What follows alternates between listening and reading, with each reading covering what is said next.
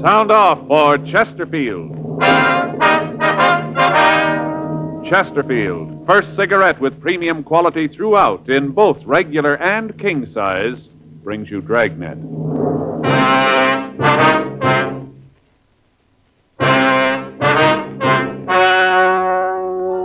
Ladies and gentlemen, the story you're about to hear is true. The names have been changed to protect the innocent.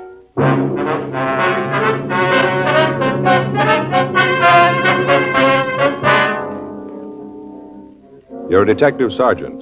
You're assigned to Bunko Fugitive Detail. You get a call from another city to pick up a burglary suspect. You know the name he's using. You know where he's living. Your job? Pick him up.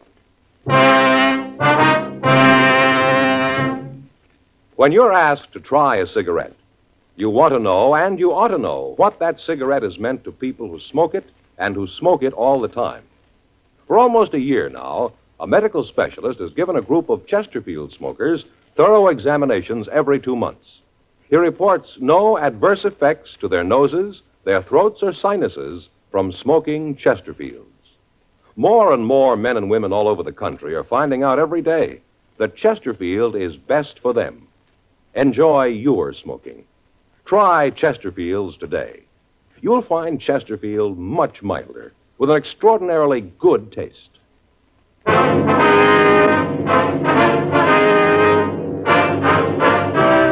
Dragnet, the documented drama of an actual crime. For the next 30 minutes, in cooperation with the Los Angeles Police Department, you will travel step by step on the side of the law through an actual case transcribed from official police files. From beginning to end, from crime to punishment, Dragnet is the story of your police force in action.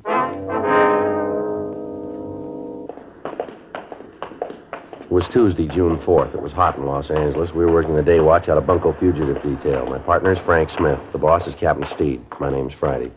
We were on our way out from the office, and it was 9.42 a.m. when we got to the corner of Selma and Fountain. The Arizona Carlton Hotel. Guess we check over there, huh? Yeah, you got the mugs? Yeah, right here. I'm awfully sorry, Mrs. Hartfield. Yes, I know we say each room is air conditioned. Well, yes, ma'am, but it is true. I, I know, ma'am, but the air conditioning is on full now. All right, ma'am. Yes, I'll send some right up. Be with you right away. Front, here, boy. Get some ice water up to Mrs. Hartfield in 502 right away. Now, sorry to keep you waiting. It's all right, sir. What is it you wanted? We're police officers, sir. Here's our identification. Uh, there's nothing wrong, is there? Don't know what I'd do if anything else went wrong. The air conditioning unit went out this morning, making excuses. I don't know how much longer the ice water's going to hold out. Wh- what is it? What's wrong now? Do you have a Mr. George Richmond registered here? Probably gives his home address as Modesto. Uh, Richmond, let's see here. Uh, wait a minute. Sir? How do I know you're what you say? Police department's always sending out circulars saying to be careful about this sort of thing. It's a respectable hotel, you know. How do I know? Well, here's our identification again, sir. I showed it to you before. Oh, hmm Friday. How about yours? Yeah, here you are, sir. Uh-huh. All right. Can't be too careful. Your own office says that, you know. Careful. Anybody can come in here with a badge. Yes, sir. Now, if you'd just check the register for us, please. Yeah, sure thing. Oh, yes, sir. hmm Here he is.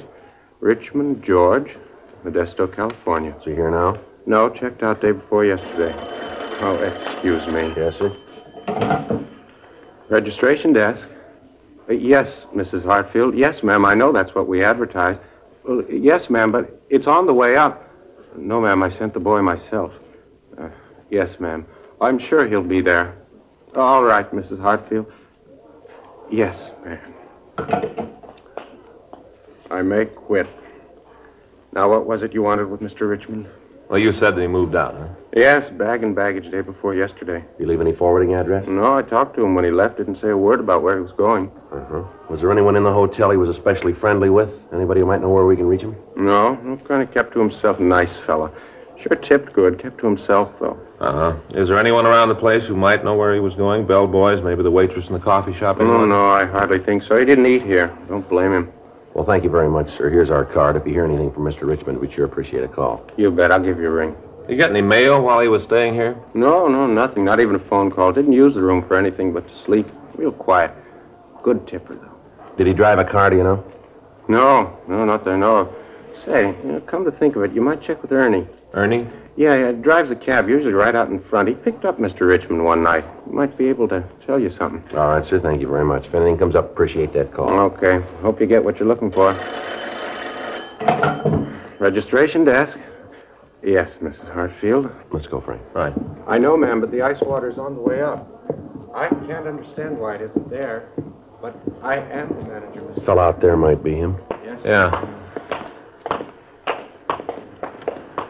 Excuse me a minute. Yeah? Your name, Ernie? That's right. What can I do for you? Police officers. We'd like some information. Well, I got a permit to park here. No, it's not that. We'd like to know if you remember picking up a George Richmond here. Oh. Richmond, huh? Yeah, that's right. Richmond. No, name doesn't make any bells ring. What's the guy look like? You got those mug shots, Frank? Oh, yeah. Here you go. You a cop, too? Yes, sir. I'm an officer. Yeah. You kind of look like one. Is this the guy? Yes, sir, that's him. You remember picking him up? Yeah, seems I've seen him before.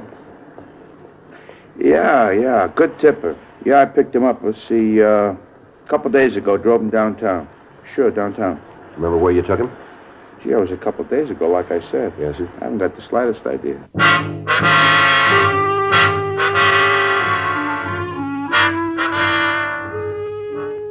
Ten oh seven a.m. We continued to talk to the cab driver. He was sure that he'd picked up George Richmond on Sunday night, but he was unable to tell us where he'd taken the suspect. We drove back downtown and checked with the cab company.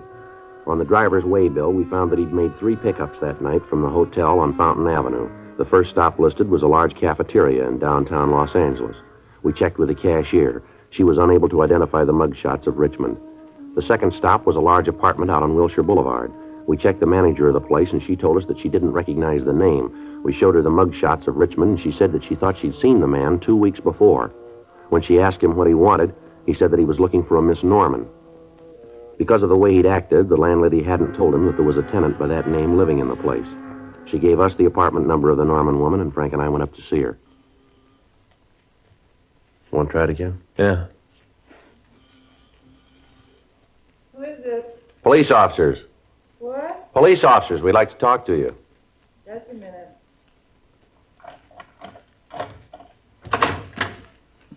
And what's this all about? Miss Margaret Norman? Yeah, that's right. What do you want with me? What if we could come in, please? Be a little better than talking out here in the hall. Yeah, I guess so. Come in. Thank you. My name's Friday. This is my partner, Frank Smith. Pleased to meet you, ma'am. Yeah. Hi. You alone here, Miss Norman? Yeah, I just got up. Have to excuse the way the place looks, kind of messy. Yes, ma'am. Mind if I put on some coffee? I'm not going to be able to answer any questions before I have a cup of coffee. We go right ahead, ma'am. What is it you want to see me about? You know a man named Richmond? Richmond? Yes, ma'am. George Richmond. Why'd you ask that? What's he done? We'd just like to know if you know him, do you? Yeah, I know him. What do you guys want him for? We'd like to talk to him, Miss Norman. Uh-huh. Don't want to tell me what it's about, huh? Well, it'll be better if we talk to him. Yeah. Either one of you got a cigarette? Yes, ma'am. Here you go. Match? Thanks. Thanks. You know, there's no love lost between me and George. Is that right?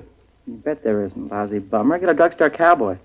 Takes a girl out for dinner one lousy night and a cheap dinner. Figures he owns her. You know where he is now? No, I haven't got the slightest idea. If I did know, I'd sure tell you. Bet I would. I'd like to see him get his way he treated me. You know any of his friends? Anyone who might know where he is? I don't think he's got a friend. At least I never met any of them. Does he drive a car, do you know? No, not him. Always took a cab. Used to kill me. Anywhere we went, he'd take a cab. One lousy block and he took a cab. Liked to be a sport.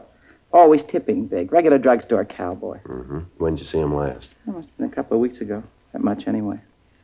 Last time I saw him. Don't care if I never see him again where he acted. I thought he was going to kill me. Ma'am? Went out to dinner and we got back here. He'd been drinking a lot. Got real nasty. I told him he better be going. You know, it was late and all. Yes, ma'am. Well, like I said, it was late and he got real nasty. Started yelling at me. Called me all sorts of things. Now, I'm not going to let any man say things like that to me, so I told him to get out. I never want to see him again. One lousy dinner and he thought he owned me. Mm-hmm. Will you go ahead, Miss Norman? He hauled off and hit me. Right, right there in the hall. Hit me as hard as he could, almost broke my jaw. Well, you know, I let out a scream and he beat it. caused such a commotion I had to move. Then this didn't happen here, is that it? No, a place over on Vermont. I moved the next day. Mm-hmm. Where'd you meet Richmond? At the club. Say, you got another cigarette? Yeah. There you are. Match.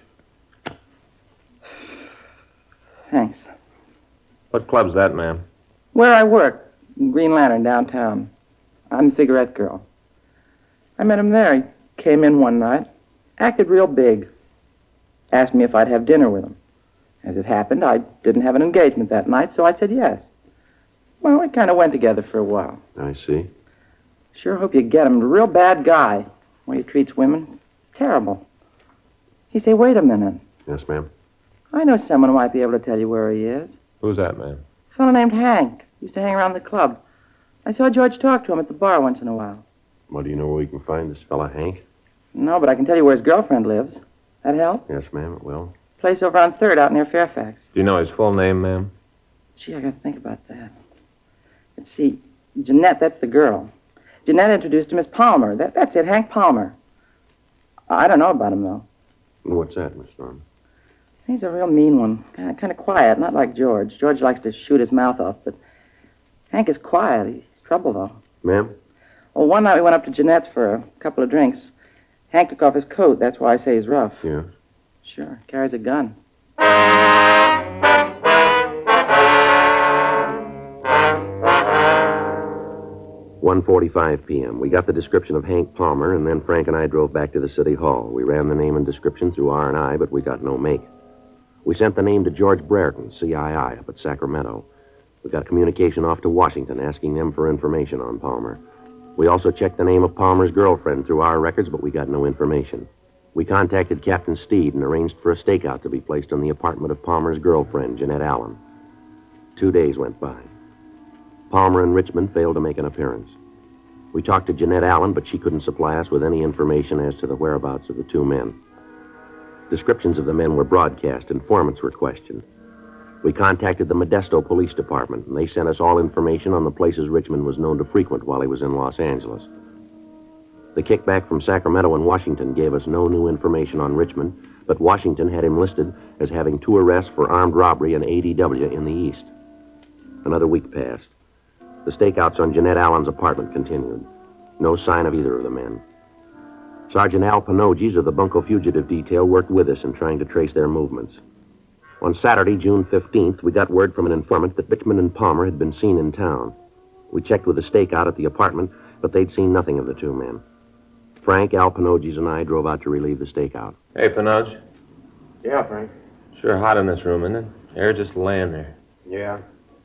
Paper says it's the hottest June 15th on record. Say, Miss Allen, Yes, Sergeant? now, you haven't heard from Palmer at all since he got back, is that it? No, not a word. I don't really believe he's in town. I'm, I'm sure if he was, he'd look me up. Never done this before. Uh-huh. Say, would it be all right if I got a glass of water, miss? Sure, help yourself right out in the kitchen. Thanks. How about you, Joe? Want some? No, no, thanks. Al? Yeah. Joe, Yeah? cab's stopping out in front. Man getting out. Might be one of them. Guy's wearing an overcoat. On a day like this? You coming in here, Al? Yeah. Yeah, cab's pulling away. Okay. You want to take that side of the door, Frank? Right. You better go into the bedroom, Miss Allen. You think there's going to be some trouble? Well, it depends on the way he wants it. Oh, well, I guess you know best. I hope not. All I need is to have to move again.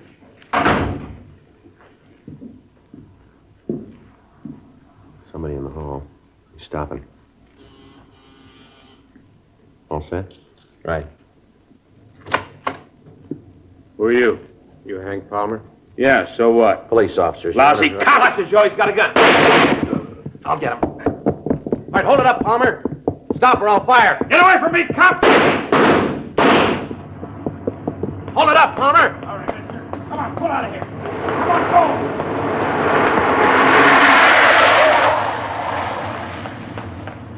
Get in a call, Frank. Gray Mercury. License number's 1S69105. Right. Better call an ambulance, too. What? Pinoges. He's hurt bad.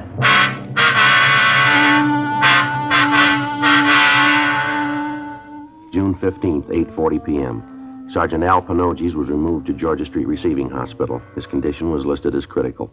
The bullet had entered his chest and was still embedded below the left lung. His family was notified, And after Frank and I got out the APB on Palmer, we drove by to pick up Mrs. Pinogi's. We dropped her off at the hospital, and Frank stayed with her. Palmer's description was put out, as was the description of the car he'd commandeered to get away. I ran the number through our DMV and found that it was registered to a William Evans, 1627 East Poinsettia, Hollywood. Along with Sergeant Ullery, I checked out the address. Mrs. Evans told us that she hadn't seen her husband for several hours, that when he left the house, he had told her that he was going to a lodge meeting. We got a description of him and got out a local and an APB on him. I called the hospital and found that they'd operated on Pinogi's, but that they were unable to remove the bullet. His wife collapsed. Frank had her taken home where she was cared for by their family doctor. 12:46 a.m. A radio car out in Chatsworth picked up Evans. He told them that Palmer had forced him at gunpoint to drive him to the valley. There, he'd forced Evans from the car and driven off. Evans couldn't give the officers any idea of where the suspect might have been headed. Two hours later, the car was found abandoned on Spring Street. It was placed under surveillance, and a dragnet of the downtown area was started. Metro Division assigned 20 teams of men to make a block by block search of the vicinity. The details at the bus stations and at the airports were alerted. 4:12 a.m. I got a call from Frank, and I drove over to Georgia Street Receiving Hospital.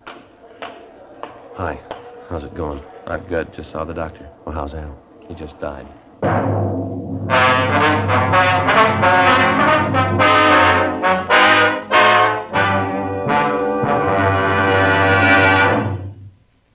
You are listening to Dragnet, the authentic story of your police force in action. Chesterfield is the first cigarette to offer smokers premium quality in both regular and king size. King size Chesterfield contains tobaccos of better quality and higher price than any other king size cigarette. Chesterfield is first to name all its ingredients, ingredients that make the best possible smoke. And Chesterfield gives you this scientific report no adverse effects to the nose and throat of a group smoking only Chesterfields. So enjoy your smoking. Change to Chesterfield today. Much milder, with an extraordinarily good taste.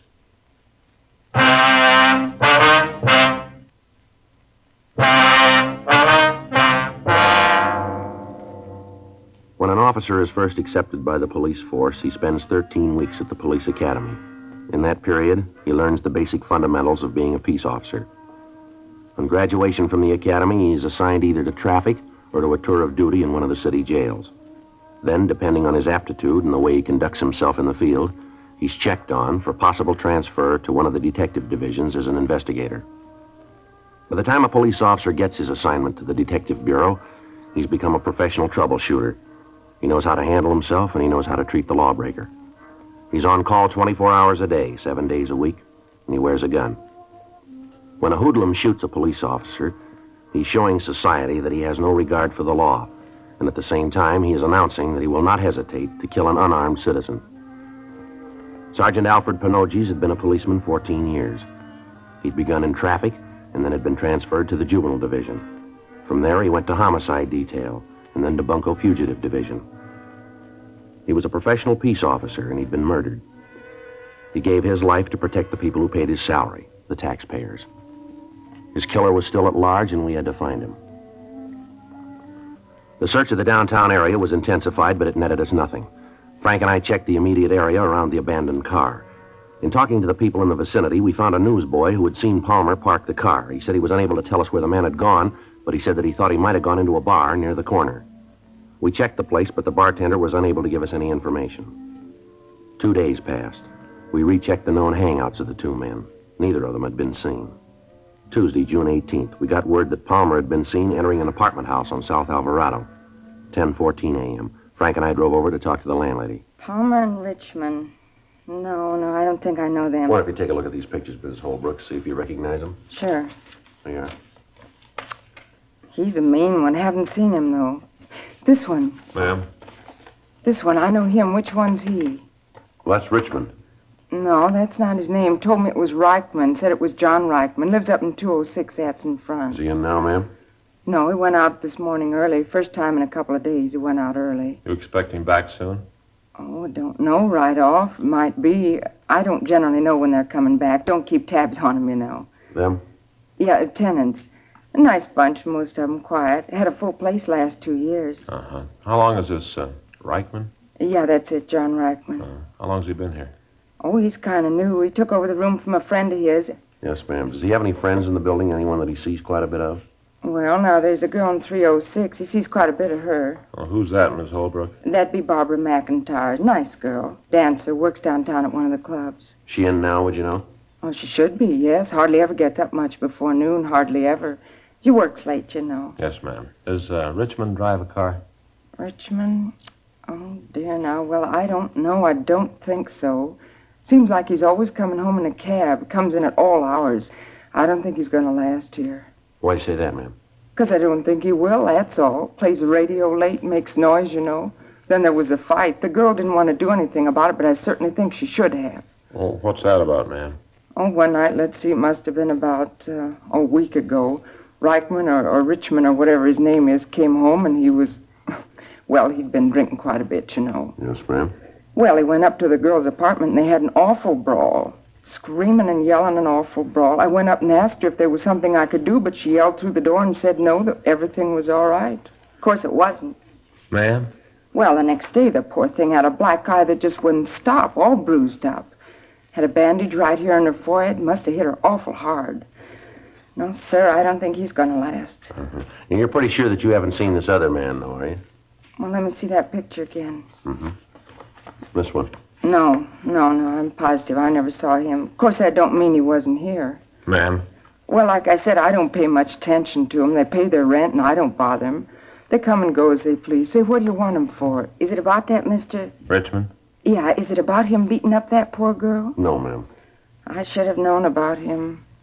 No, sir, he ain't gonna last long around I here. wonder if we could see his room, Mrs. Holbrook. Well, I guess it's all right. I'll get the key. All right, ma'am. Thank you.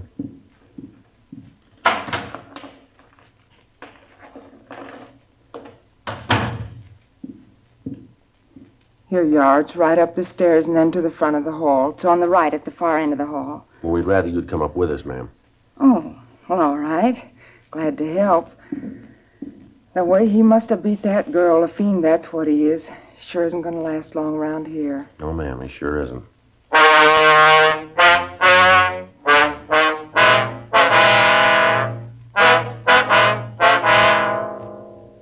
Before we looked at Richmond's apartment, we tried to check with his girlfriend. We found that she wasn't in. The manager let us into her apartment, but we found no indication where she might have gone.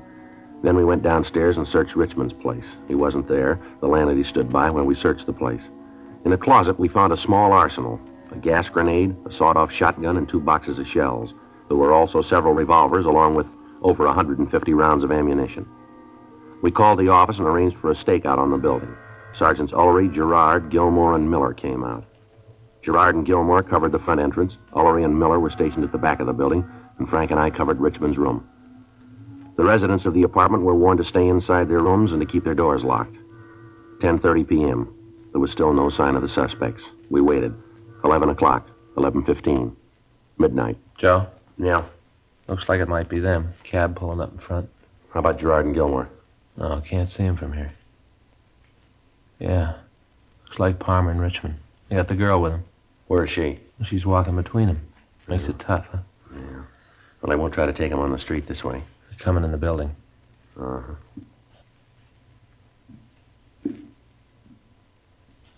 They should be here pretty quick. Yeah, figures if they're coming here. Upstairs. Girl's apartment. Huh? Sounds like it. Wonder if they went in with her. We'll just have to wait. Wait a minute. Somebody outside there in the hall. Yeah. Hold it. I don't feel right, I tell you. It's too quiet. Something's up. All right, mister, let's hold it. Cops, George, beat it! Oh. All right, give it up, Palmer. They made the street. No more Gerard should get him. And that car, Joe. Let's go. Looks like they're in that store. You want to cover me while I try to get over there? All right, take it easy. Right. You all right, Frank? Right. All right, I'm coming over. I'll cover you. You see Gilmore and Gerard? Yeah, they're behind the Buick over there. Come on out of there. Richmond, Palmer, come on. Throw the guns out. You come in and take us, cop! Give it up, Richmond. You're at a dead end. There's no way out of there. And we'll make one! They're coming out, Joe. Okay, okay, I quit! You got Richmond, I quit! Now don't shoot anymore! Please don't shoot anymore! You won't shoot anymore, will you please? Throw that gun out here. Come on. All right. Here it is. I'm throwing it out. Now don't shoot anymore, please! Got it. All right, I'll check Richmond. Right. I haven't got any gun. I gave it to you. I- I'm hurt. Can't you see that? I'm hurt bad. I told Gilmore to call the ambulance. Richmond's dead. How about this one? Well, he's hit. I don't know how bad. I should have known not to kill a cop. I would have been like this if I hadn't killed that cop. I didn't mean to. I got scared. That's all, scared. You can understand that, can't you? Yeah, you want to shake him, Frank? Yeah. Watch it, Frank. He's got another gun.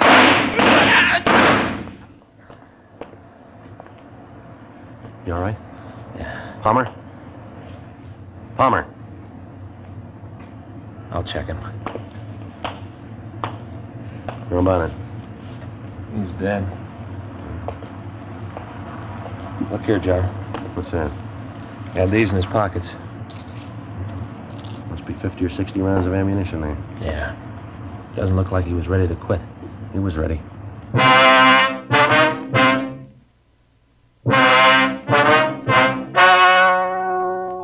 The story you have just heard was true. The names were changed to protect the innocent. On July 26th, an inquest was held in the coroner's office in and for the county of Los Angeles. In a moment, the results of that inquest. Now, here is our star, Jack Webb. Thank you, George Fenneman. Friends, every day more and more people are changing to Chesterfield and finding Chesterfield is best for them. One reason for this is premium quality. Chesterfield is first to give you premium quality in both regular and king size.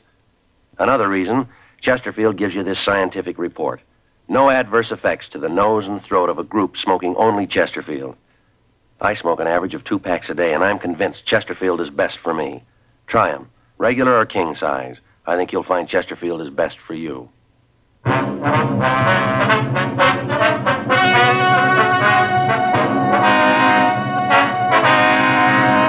At the coroner's inquest, it was found that the deaths of George Thomas Richmond and Henry Donald Palmer were justifiable homicide. It was found that they were armed and were killed while resisting arrest. You